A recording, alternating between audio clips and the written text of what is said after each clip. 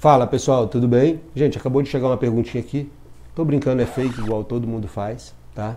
O pessoal fala que chegou alguma coisa e vai ler a pergunta que ele quer falar, o assunto que ele quer falar. Mas vamos lá, qual que é a diferença do marketing tradicional, né? Do marketing digital tradicional para o marketing de lançamento? Gente, no meu ponto de vista, nenhum. Por quê? É, o marketing de lançamento, ele tem vindo é, vamos dizer, é um nome que criaram, igual criaram marketing de diferenciação. Na verdade, gente, vamos lá, básico. Todo marketing é baseado em diferenciação, que usa preço, praça, produto, promoção para criar valor e vender mais caro e gerar um relacionamento para o seu cliente ou até mais barato, mas um relacionamento comercial que você fique satisfeito com o que você ganhe e que o seu cliente também fique satisfeito com o produto que ele adquiriu para poder gerar um ciclo de venda entendeu?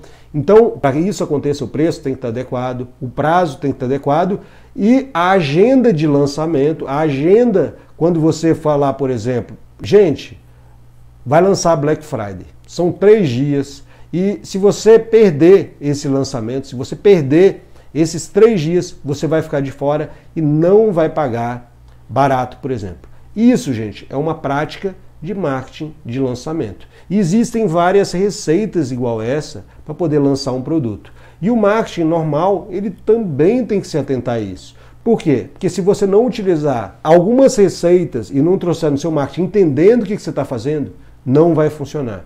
E aí eu te pergunto, por que tem muita gente, de repente, que usa a mesma estratégia e não funciona?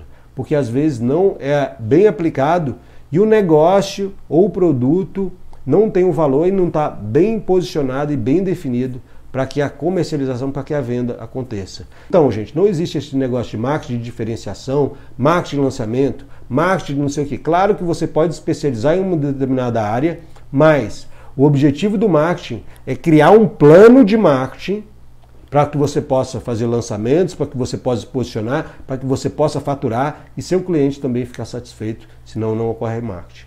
Eu espero que vocês tenham gostado e até a próxima.